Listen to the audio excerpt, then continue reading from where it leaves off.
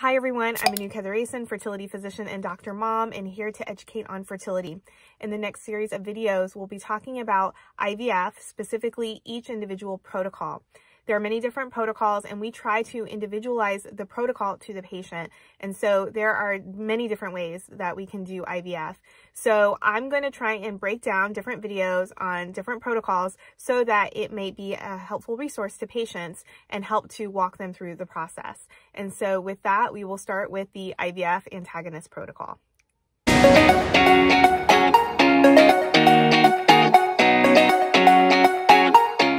Let's start with how do you prepare for the process?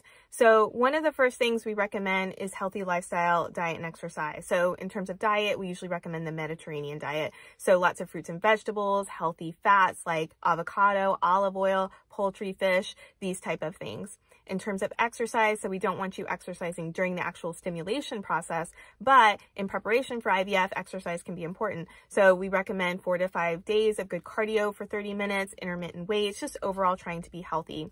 In addition, we want you to avoid processed foods, try and avoid alcohol and smoking and minimizing caffeine in terms of supplements. So we usually recommend prenatal vitamins, vitamin D, calcium, these type of things. And if we're concerned about ovarian reserve, then we would also recommend CoQ10 and DHEA.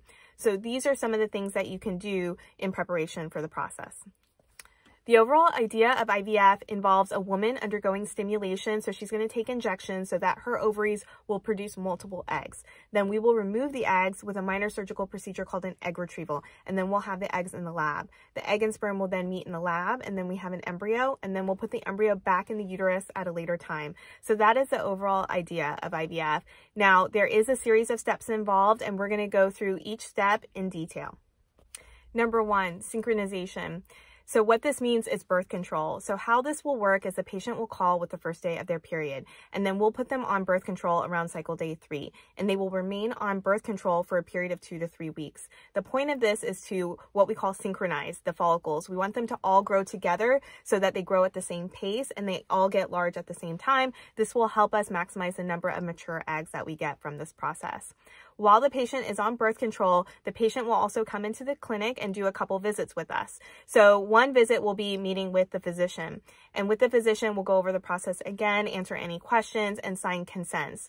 In addition, we'll do a couple of procedures with the patient. So one is what's called a trial transfer. So what this is, is basically a practice run at putting the catheter in. We just don't want to run into any surprise on the real day that we're putting the embryo back in. So that's why we do this practice run to make sure it's a nice and smooth process. The second procedure is what's called a saline ultrasound or hysterosonogram. I have done a video on this and I will link it here.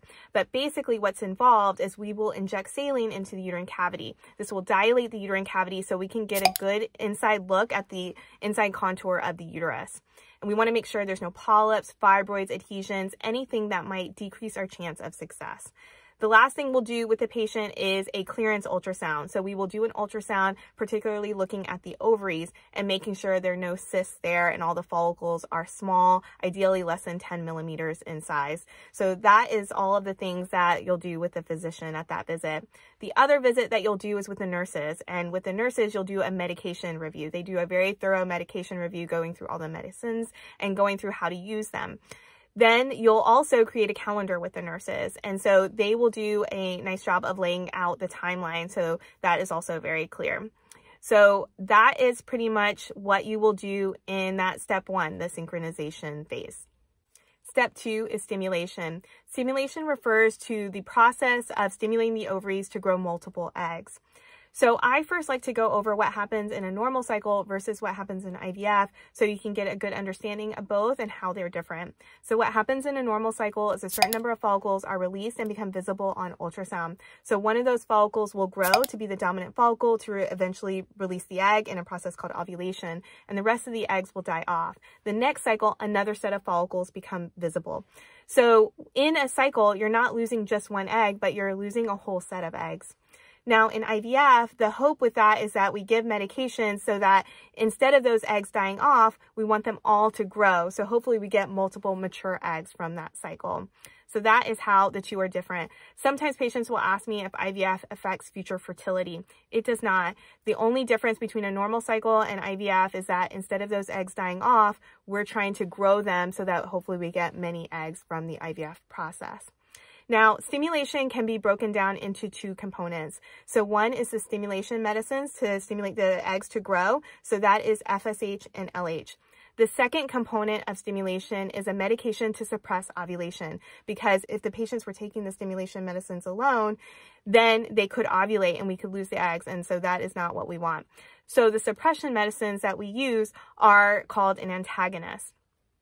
So let's go through the process in a little bit more detail. So the patients will start on the stimulation medicines, and then once the follicles reach about 14 millimeters in size or the estrogen level is above 400, we will start the antagonist. So the patients will initially take two injections a day until we start the antagonist, and then they'll take three injections a day. The overall process of injections lasts anywhere from 8 to 12 days. It just depends on the woman and her response, and we will monitor you with blood work and ultrasound every two to three days during this process for a total of usually four to five visits. We try and make them in and out in the morning so we don't interfere with work. And then we'll um, call you in the afternoon with the results and the next steps from there. So let's go over the medicines so you can be more familiar with the terminology. So FSH and LH again are our stimulation medications. So FSH comes in Gonal F or Follistim. LH can be done in a couple different ways. We sometimes will do microdose Ovidrel, which substitutes for that LH component, or a medication called Menopur, which has both FSH and LH in it. So an example of a protocol could be Gonal F and Menopur, so you're getting both that FSH and LH component for the stimulation, or Follistim and microdose Ovidrel, where you're getting, again, that FSH and LH component. So there are a few different ways to do it. And then the antagonist medications are called ganirelix and cetrotide. So that is the stimulation process. Step three is the trigger. When the follicles reach the right size, we will trigger ovulation. And the point of this is for the last steps of egg maturation. The timing of the medication is very important. We will time the egg retrieval 35 to 36 hours after the trigger. Examples of triggers are Novarel, Another trigger we use is called a Lupron trigger. We often use that in patients where we're worried about overstimulating. And sometimes we'll use a combination of both. Number four is the egg retrieval. The egg retrieval is a minor surgical procedure that we do to remove the eggs. It's done under ultrasound guidance and with anesthesia. So how the procedure works is once you're under anesthesia, we will put a speculum in and we will perform a lavage, basically a cleansing of the vagina. Then we will put the ultrasound probe in and there is a needle guide above it. We will feed a needle through that needle guide and it will go basically through the vaginal wall and into the ovary. When it's in the ovary, we will step on a pedal. This will activate a suction mechanism. So we're actually suctioning the fluid out. Each follicle, in theory, has a microscopic egg that we can't see. So as we're removing the fluid, the egg should be coming with it. It'll travel through the tubing into a test tube, and then we hand the test tube off to the embryologist. They'll look through the fluid under a microscope and identify the eggs. The procedure length varies depending on how many eggs are there, but generally speaking, it's about 15 to 20 minutes, and patients will go home the same day.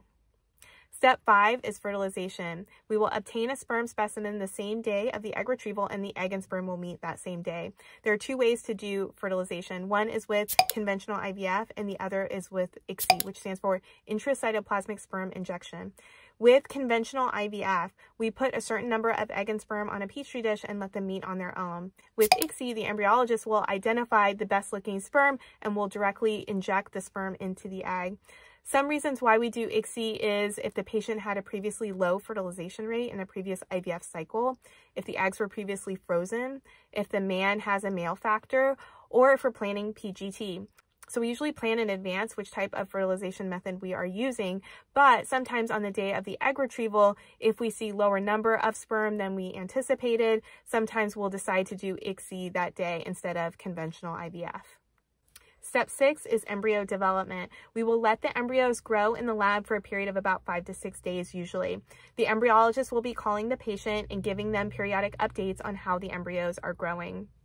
Once the embryo gets to the blastocyst stage, which usually happens after five to six days of growth in the lab, we have two options. We can either put the embryo back in, which is called a fresh embryo transfer, or we can freeze the embryo for the plan of putting the embryo back in in a later cycle, and that is called a frozen embryo transfer cycle.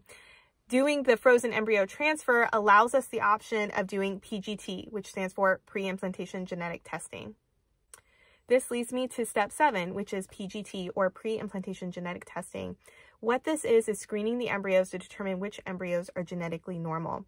How it works is when the embryo reaches the blastocyst stage, the cells have differentiated into the inner cell mass, which becomes the future baby, and the cells on the outside of the embryo, which is called the trophectoderm, and those cells become the future placenta.